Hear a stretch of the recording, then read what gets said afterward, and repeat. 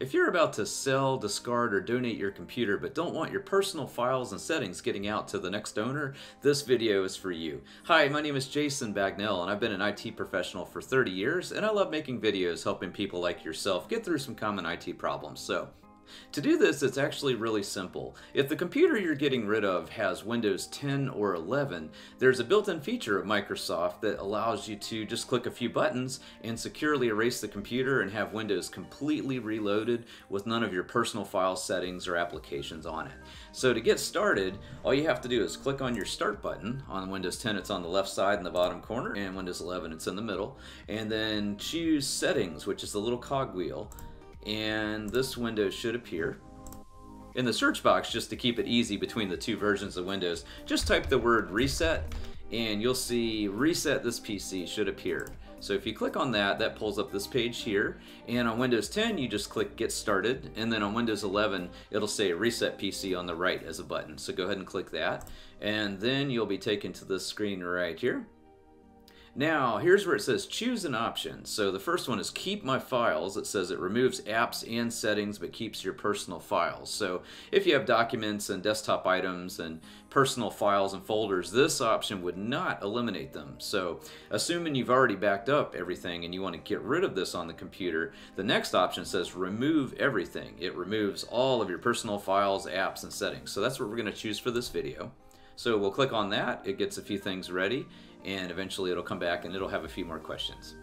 Now it says, how would you like to reinstall Windows? The two options are either cloud download or local reinstall. So I researched what exactly these are. If the Windows operating system on the computer is running okay, you've had no problems, um, or you have a slow internet uh, connection and you don't want to wait a long time, you can choose local reinstall, and it'll use the files already on the computer to reinstall Windows. But if you are on a broadband high-speed connection and just want it to download the latest greatest copy of the version of Windows you're running and then install it, that might be a better choice. So for this option, I'm going to choose cloud download and then it asks under additional settings, it gives a summary of what it's going to do. So it says remove apps and files, download and reinstall Windows. Uh, there is a change settings button, so this is real important to click that if you want to secure erase the computer. By secure erase, what I mean is that if someone uh, goes on the computer with a data recovery program and you didn't secure erase it, there is a possibility they could recover your files and data from the portions of the hard drive that were not overwritten during the process of reloading. So here under clean data, we do want to click yes. So it says that will clean the drive. This may take hours, but will make it harder to recover files. And then download Windows, yes. And then just click confirm. And it gives another summary. We'll hit next. And now we just have to wait a while. It takes quite a while to download Windows and reinstall and wipe the disk. But your best bet is just to let it run, forget about it for a while, and come back later. So now it says ready to reset this PC and it gives another summary of what's going to happen and go ahead and click the reset button and away it goes. So now it's downloading the files to install a fresh updated copy of Windows and then it will automatically reset and continue the process. So I believe at this point you can now let it run and just check on it periodically and eventually it will finish. If you're about to click away from the video because you got the answer you needed, please give my video a like or better yet subscribe to my channel before you go as a token of appreciation. It's free and it helps me a whole lot. I'm trying to grow my channel so I can make more videos in the future. Thank you. Now this part can take a long time. It's essentially, it's overwriting every little bit and byte located in any space marked as free on the drive. That ensures that any of your deleted files and folders will not be recoverable once the procedure is done and you give away the computer. One thing that's real important at this point in the installation is that if you have a network cable that's plugged into the back of your computer, unplug it now. And also if you're asked to enter a wireless network key or pick a wireless network, don't. And if there's an option to skip adding a wireless network, go ahead and click that option. A little bit ago, I tried my normal trick where when it asks for a Microsoft account, I usually put in no at thankyou.com and then put in just a garbage password that, you know, isn't the right one a few times. And then normally it lets you skip that, not have to configure it to a Microsoft account, and it continues forward with a local account. But that didn't work. So uh, just heed my advice and let's try to do it that way. Okay, it looks like the Windows 10 setup screens are coming up for the initial installation. And let's choose my region, United States. And I'm just going to click through the normal setup program until I hopefully can reach the desktop. So we'll keep the keyboard at US and click yes. We don't want a secondary keyboard, so let's skip that.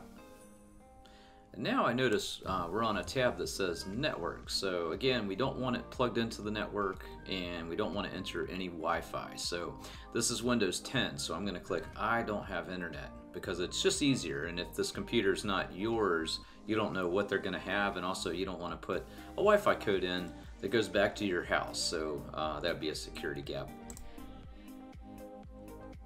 Okay, it took that. Now let's do continue with limited setup, meaning we don't want a Microsoft account.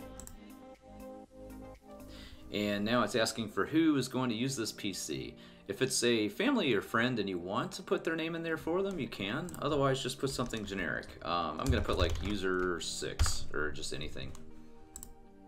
And it asks for a password. So I recommend for now, don't put a password and then you won't have to put in security challenge questions. It's just much easier. And for privacy, I'm just going to accept all those for now. And we'll say not now for this one. And here we have to just wait for the initial setup program to finish. Okay, this is a good sign. This is the initial wizard and screen you see when a new account is signed in for the first time.